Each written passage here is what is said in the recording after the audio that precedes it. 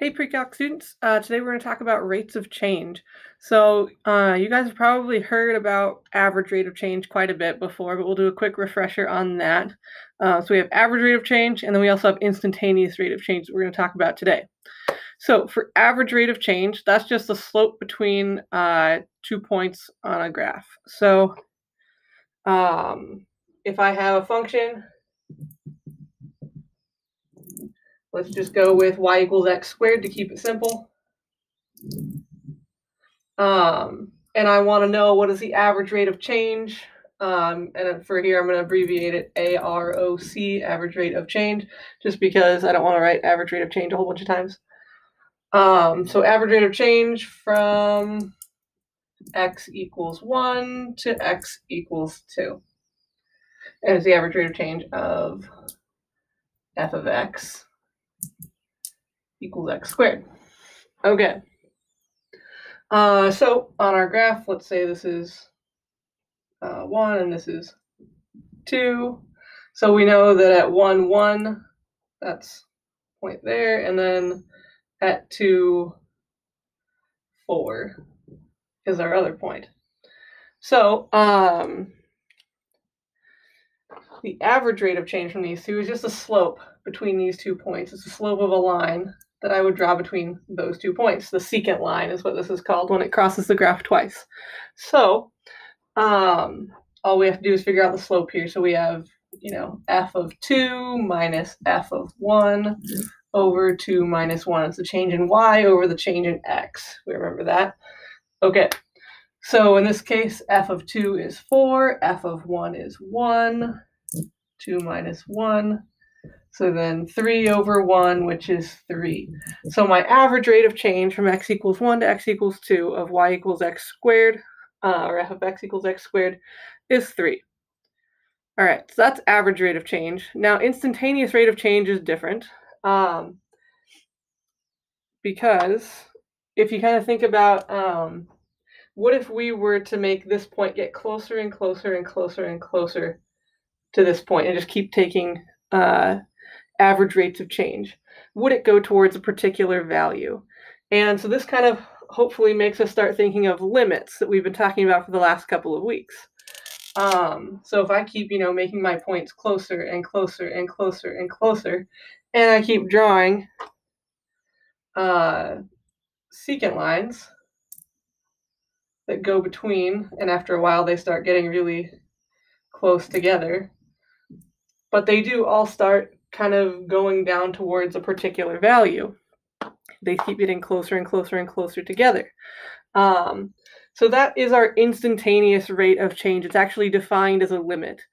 Um, so in order to help us kind of take a better look at this, I'm going to uh, redraw the graph a little bit here because it got kind of messy.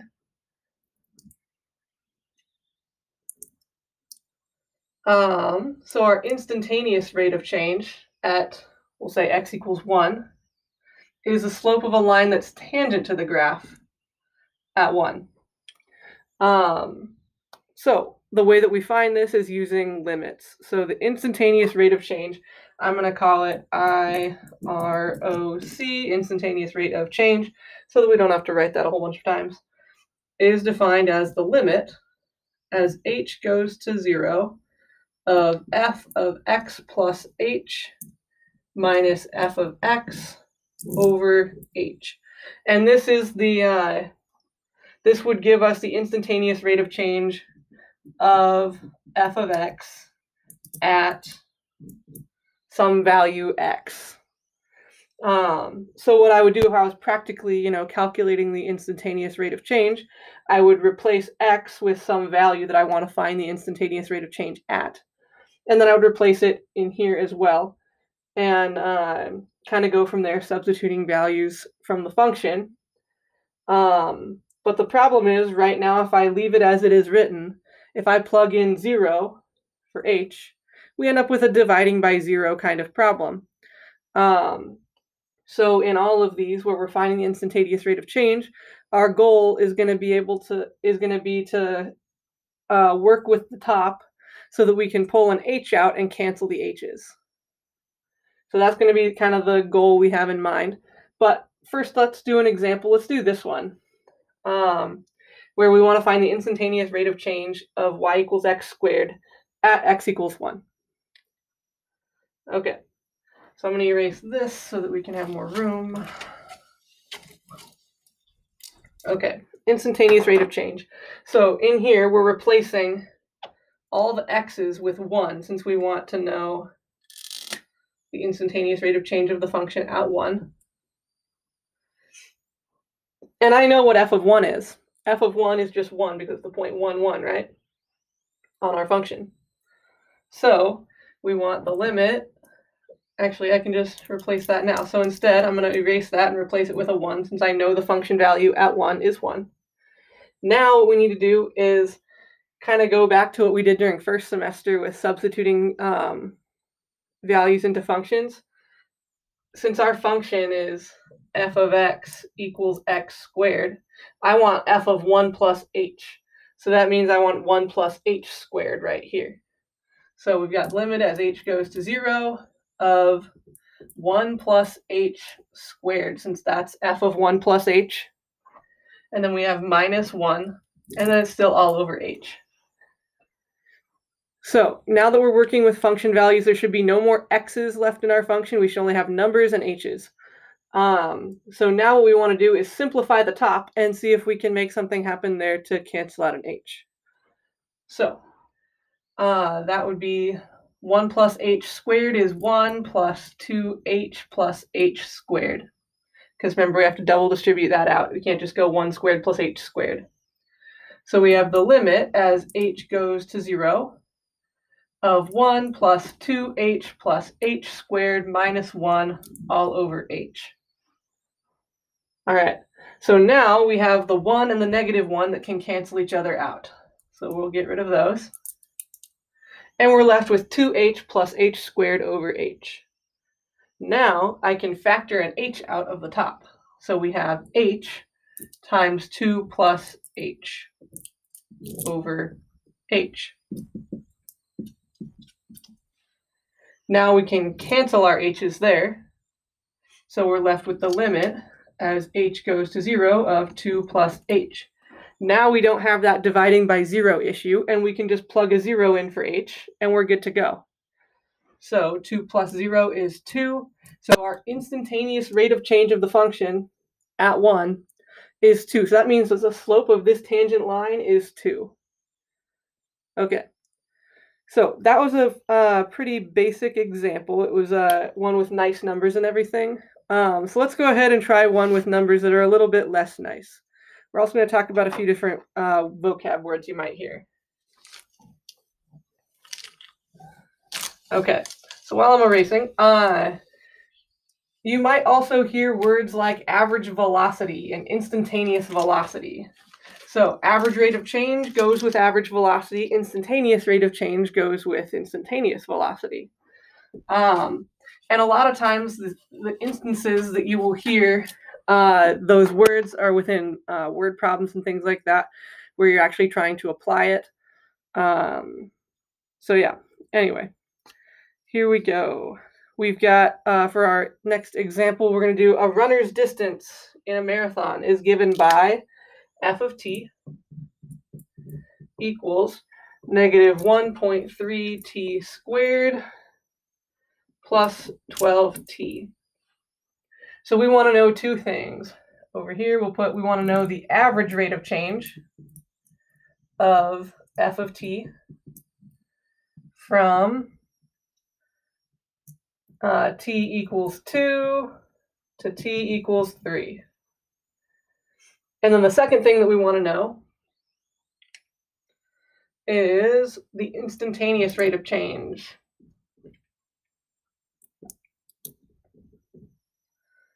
of f of t at time equals 2. Okay, so we want to know both of those things. So first let's do the average rate of change since that one's uh, simpler. All we need to do for this one is go f of 3 minus f of 2 over 3 minus 2. So in this case, f of 3, all you do is take 3 and plug it in for t. Uh, since I already did that earlier, uh, we know it's 24.3, or, you know, I did it on my own. You can plug it in with your calculator if you want to verify. 24.3 is f of 3. And then f of 2 is 18.8. And then this is all over 3 minus 2. So then we do the math here. Uh, 24.3 minus 18.8 is 5.5 over 1, since 3 minus 2 is 1, so 5.5. Okay, and a lot of times uh, they'll tell you something about the units, like they'll say uh, this distance is in miles, time is in hours, something like that. Um, so then if it's our average rate of change, this would be an average of 5.5 miles per hour. All right, so, um, or they might have asked for average velocity or something like that instead. They might have used those that wording. So anytime you're talking about average velocity, instantaneous velocity, those are all going to be in units per time, uh, units of length per time. So it's going to be miles per hour, meters per second, uh, feet per second, um, inches per minute, you know, all those kinds of units are going to be your rate of change units, your velocity units. Okay, so there's our average velocity or our average rate of change for that uh, runner from time equals 2 to 3. So let's go ahead and do the instantaneous rate of change next. And since this kind of bled over, I'm going to erase. Okay, instantaneous rate of change. So let's remind ourselves of that definition again of instantaneous rate of change. We've got the limit as h goes to 0 of f of, we'll say t this time since we're dealing with t instead of x, t plus h minus f of t over h. Okay. Um, so for this one, we do, or the first thing we want to do, since we know we wanted it at t equals 2, we're going to go and plug in 2 anywhere we have a t. Okay, and then as we saw in the previous portion of the problem, we already calculated f of 2. We know how to find f of 2, just plugging it into a calculator and everything. So f of 2 was really 18.8. So we're going to get rid of this and put in 18.8 instead. And then f of 2 plus h just means that I'm plugging 2 plus h into this function for t. Uh, so I need to plug it in both places where there's a t. So here we go. This is going to look a little bit longer than our last uh, one where we had to plug stuff in here. So we're going to have negative 1.3 times 2 plus h squared plus 12 times 2 plus h. And then we still have our minus 18.8 and then it's all over h, and this is the limit as h goes to zero. Still. Okay. Um, so now what we need to do is simplify everything on the top because we still have this dividing by zero problem if I were to plug in zero right now. So, um, let's see. Remember, you when you square the 2 plus h, you have to actually double distribute it out. So we should end up uh, there with 4 uh, plus 4h um, plus h squared. Okay.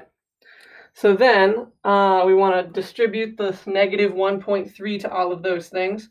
So that would give us negative um, 5.2 there, and then uh, minus 5.2h minus 1.3h squared. And then we also have to distribute the 12 here. So 12 times 2, 24, plus 12h. And then we still have that minus 18.8 hanging out down there. And this is all over h. Now we have to start uh, simplifying and canceling things. And the nice thing that happens is that negative 5.2 plus 24 is positive 18.8, which nicely and conveniently enough will cancel with our negative 18.8 over here. So I can cancel all three of those terms. Then we just need to combine like terms. All I should be left with now is things with an h in them, which is super nice. So now we have negative 5.2h plus 12h, combining uh, like terms there. We get, uh, what is that? 6.8h. Yep. Uh, and then we have minus 1.3 h squared all over h, and it's the limit as h goes to 0. Okay, so now that we just have things with h's in them, we can cancel an h. So if you factor out an h, you can think of it as factoring out an h, or you can think of it as canceling one of the h's from each of the terms. Either way, we get, uh, can we still see this? Let's move over here. This is terrible board work. But anyway, limit as h goes to 0 of, we have 6.8 minus 1.3h. Now I can plug in 0 for h. This term goes to 0, and we're just left with 6.8. And this would be miles per hour. So our final answer for instantaneous rate of change of our runner when time is 2 is 6.8 miles per hour. Um, okay, so that's our lesson on average rate of change and instantaneous rate of change. Uh, if you have any questions, feel free to send me an email, come to office hours, or comment on this video. Um, otherwise, have a wonderful day. See you guys later.